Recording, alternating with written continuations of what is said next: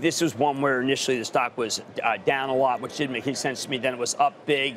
And uh, look, all I can tell you is the stock became a value stock. How that happened is unbelievable. Matter of fact, you could say, well, listen, under Lloyd, under Lloyd Blankfein became a value stock in part because what people uh, people got away from thinking that trading is as good because trading was essentially outlawed by the government. And now we got this quarter today, and it did not show a fantastic equities number. But look, what can I say? This thing has a $194 book. It added big book $194.37 37 cents. book value. So that gives you a sense as to what it's trading at as a multiple So- book. Not much above one. What is Goldman 1.2? Sachs. I mean, we had a. Goldman uh, I think we had a Goldman on as an analyst this morning on Squawk. And we, we talked about the idea that maybe the Goldman's not the Goldman of, of old. I would come back and say it's the toughest place to get a job. And if you use that measure for Silicon Valley, that would mean that it's still attracting a Oh lot my of God! people. It still it still attracts some of the best. They compete for talent, frankly, against Amazon and against Netflix or Facebook and Google. That's where they compete, which just gives you a sense still in terms of the quality of people they're able to bring into this franchise. And their franchises are still strong in many ways. They are, of course, moving more strongly now into consumer finance, which isn't a Right, small that- business. that's a very hard But it hard will be business. interesting to see how Mr. Solomon sort of positions the company. His tenure, by the way, is probably likely to be half of that of what Mr. Blankfein Well, that's was. part- why did Lloyd- because, you know, Right. uh, David's in his mid 50s.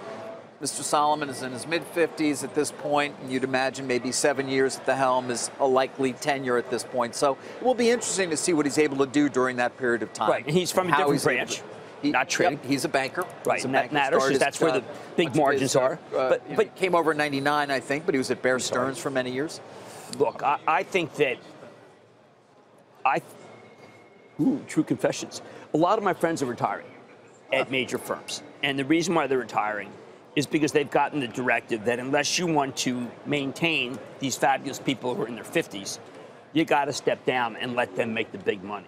Now, fortunately, most of the people who are doing this that I talk to are so wealthy. It's you know, don't cry for me, Argentina, Brazil, Latin, Colombia. Let's throw in Belize, you know, a capital city.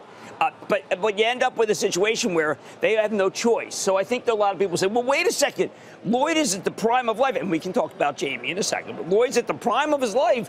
What's he doing? And the answer is he's making it so the other people who are at the prime of their life don't leave, which is what happens if you don't do this. So I really need people. I mean, it's again. It's only because of commonality where I, I, I've now talked to the 10th person in my class, and I no longer say, but you're so young. I say, yeah, they retired you. Okay, what do you got? You going to Audubon Society? Which plan?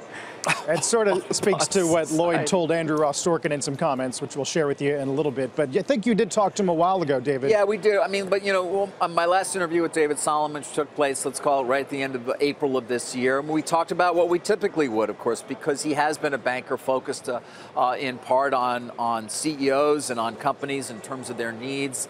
Um, this now will require, of course, a much broader view on his part. That's already been going on as he's known he's going to get that top job. But here's what he had to say, just in terms of a conversation we typically have had about the environment as it relates specifically to mergers and acquisitions.